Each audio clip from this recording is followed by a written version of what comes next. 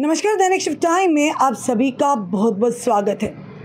दर्शकों, कुछ दिन पहले हमने आपको गवर्नमेंट मेडिकल कॉलेज में एक घटनाक्रम सामने लाया था, जो कि अरनिया के सोरोचा पिंडी का, जो वाक़ था और ऐसा घटना थी जो दिल दहला देने वाली घटना थी कि किस तरह से जगदीश राज, जो एक गरीब माता पिता का बच्चा था, जिसकी उम्र लगभग, यानी बताया जा रहा था कि अठारह वर्ष थी, और जिसे किस तरह से उनकी बकरियाँ जो दूसरों के खेत में चली जाती हैं, और उसके बाद वो चार लोग बताए जा रहे थे, जो जो उस समय वहाँ पर पहुँचे थे, जब जगदीश के के साथ जगदीश को काट कर फेंक दिया गया था।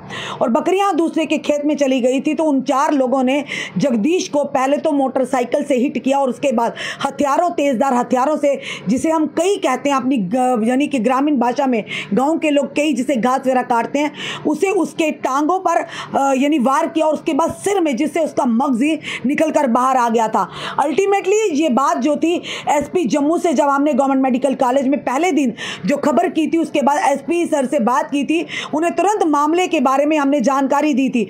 और उसके बाद उन्होंने, यानी कि जो दूसरा उन्होंने मारा था, वो भी वहाँ पहुँचने वाले थे। अगर एसपी सर वहाँ जो कि अरनिया पुलिस स्टेशन में फ़ोन करके ना बताते पूरी घटना तो फ़िलहाल रात को लगभग 11 से 12 बजे के बीच पुलिस की पूरी टीम, एसएसपी, जो एसपी, यानी कि एसएसपी जम्मू और साथ ही साथ एसपी जो हैं, रूरल यानी कि एसपी हेडक्वार्टर जो हैं इशाद राठौर उनके नेतृत्व में वो जब पूरी टीम, एक टीम को भेजते हैं यहाँ पर गवर्नमेंट मेडिकल कॉलेज में तो वहाँ पर उनके पिता का बयान लिया जाता है। पर उस समय जगदीश की बड़ी ही क्रिटिकल बताई जा रही थी। अल्टीमेटली तीन लोगों को पहले गिरफ़्तार किया था पुलिस के कड़े प्रयासों से, क्योंकि वो परिवार जिन्होंने, वो लोग जिन्होंने मारा था, जगदीश राज को जानलेवा हमला किया था, जिसके चलते तीन दिन के बाद जगदीश की जान चली गई थी। तीसरे दिन जगदीश ने आखिरी साँसें गवर्नमेंट मेडिकल कॉलेज के एमरजेंसी में ली थी। पर वहीं पर ये लोग भाग गए थे। तो आखिर कानून के हाथ बड़े ही लंबे हैं। एक ना एक दिन गिरेबान तक, आरोपी के गिरेबान तक पहुँची जाते हैं। लगातार आपने देखा था किस तरह से जगदीश के पिता रो रहे थे कि मेरे दो बेटों में से मेरी जोड़ी जो थी, दोनों भाइयों की वो टूट गई। रोहित जो उसके भाई थे, किस तरह से रो रो का बिलक बिलका पूरा गाँव जो था जगदीश के लिए दुआएँ मांग रहा था। और उस समय जो हालात थे, आप खुद समझे कि अगर बात करें तो अवतार सिंह ग्रेटर क्लास के मर्डर केस के बाद ये दूसरा ऐसा दिल दहला देने वाला केस था हत्या का मामला था, जो कि अरनिया के सरोचा पिंडी से आया था, जिसमें 18 साल के जगदीश राज को बेरहमी से काट कर फेंक दिया था और दो दिन के बाद, तीसरे दिन गवर्नमेंट मेडिकल कॉलेज में जगदीश ने दम तोड़ दिया था। वहीं पर अगर बात करें तो पुलिस ने अपनी तीव्र कार्रवाई बताई, जिसमें तीन लोगों को पहले ही हिरासत में ले लिया गया था। आज चौथा आरोपी जिस पर आरोप थे कि उन चारों ने मिलकर इसको मारा था, इसे काट कर फेंक दिया गया तो उन्हें पुलिस ने आज हिरासत में ले लिया। और कहीं ना कहीं श्रेय जाता है एसएसपी जम्मू और एसपी जो यानी कि हेडक्वार्टर है। अगर बात करें तो इशाद राथर जी, एसडीपीओ आरसपुरा हैं। इनकी टीम ने पूरी तरह से दिन रात करके इन आरोपियों को अल्टीमेटली दबोच ही लिया है। इसीलिए हमने कैप्शन में लिखा कि आज आज जगदीश राज की आत्मा को शांति मिल गई होगी। आगे का जो काम है, वो कानून का है, वो कोर्ट का है, वो ऑनरेबल कोर्ट का काम रहेगा। और बाद में आप बाकी की जो स्टेटमेंट्स हैं, वो पुलिस के माध्यम से जो कि कोर्ट में होंगी, पर फ़िलहाल पूरा मामला आपके समक्ष हम रखना चाहेंगे। बताना चाहेंगे, पिंडी सरोचा का जो मामला आपके समक्ष रहा था कि 24 जुलाई 2024 को पुलिस स्टेशन अरनिया में।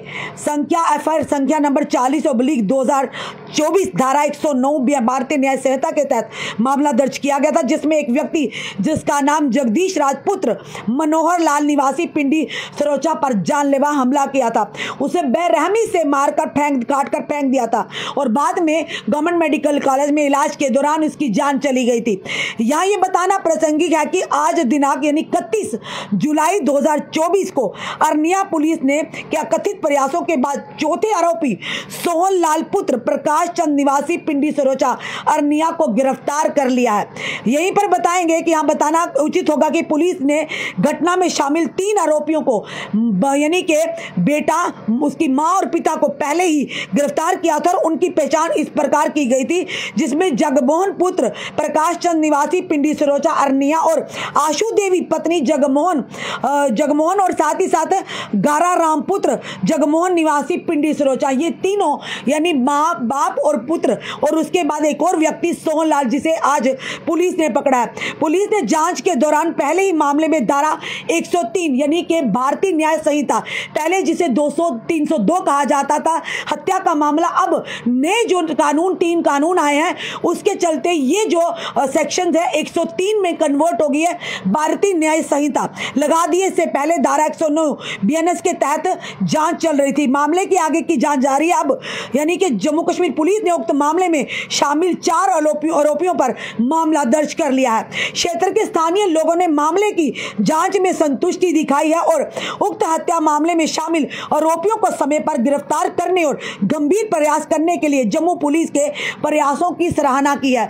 वह हम बार बार कहते हैं, अगर पुलिस चाहे तो कुछ ही घंटों में या कुछ ही दिनों में उन आरोपियों को दर्द है। आपने देखा था उस समय अस्पताल में पूरा पिंडी सरोचा के नहीं, बल्कि चार गाँव के लोग वहाँ पर मौजूद थे। रिप्रेजेंटेटिव आए थे, जिन्होंने साफ़ तौर पर कहा था कि जल्द से जल्द इन आरोपियों को पकड़ा जाए, जिन्होंने बड़ी बेरहमी के साथ उस बच्चे को, जिसकी उम्र 18 साल थी, जगदीश राज था, जो गरीब माँ बाप का बच्चा था, उसकी गलती ये थी कि उनकी बकरियाँ उनके उस जगह पर चलेगी जो जगह औकाफ की है, बल्कि उनकी भी नहीं है, पर औकाफ की जगह है वो, उस औकाफ की जगह होने के अब बकरियाँ वहाँ उनकी खेत में चलेगी और बेरहमी के साथ सब्ज़ी के साथ गा, मुझे गाली यानी मूली गाजर की तरह उस अट्ठारह साल के बच्चे को काट काट दिया।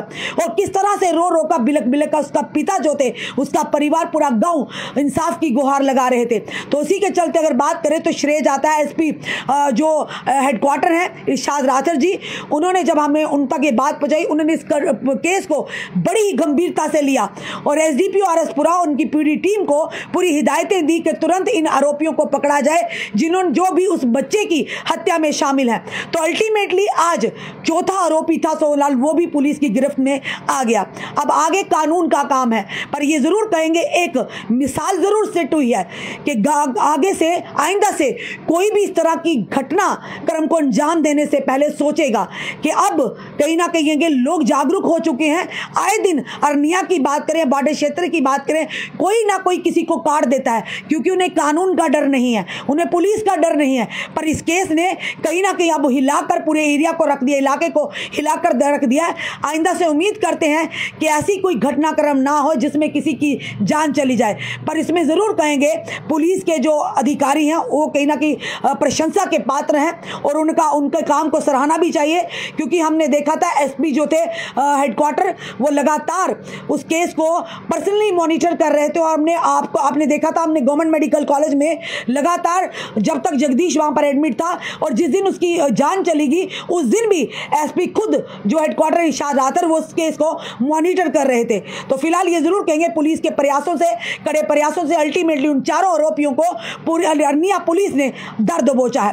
तो इसी तरह से हम अपनी पुलिस से जनता को भी कहते हैं कि विश्वास जनता का कहीं ना कहीं पुलिस ने इस केस में जीता है। तो इसी तरह भगवान ना करे आने वाले समय में अगर किसी के साथ भी अन्याय होता है तो हम उम्मीद करते हैं ये पूरी टीम, ये पुलिस जो बॉर्डर पुलिस, बॉर्डर एरिया पूरा है, चाहे अरनिया है, चाहे आर पूरा है तो ये टीम भी इसी तरह से आगे काम करेगी ताकि इन आरोपियों के हौसले बुलंद ना हो, बल्कि पस्त हो। इन्हें पता चले कि किसी की जान लेने का, या जिस पर जान लेने का हमला करने का नतीजा क्या हो। यानी वो जगदीश तो वापस नहीं आएगा, पर आज उसके माता पिता को भी कहीं ना कहीं उन्हें तसल्ली हुई होगी। आज जगदीश की आत्मा को भी शांति मिली होगी। जिन लोगों ने उसे बेरहमी से वहाँ काट कर फेंक दिया, आज वो सलाखों के पीछे हैं।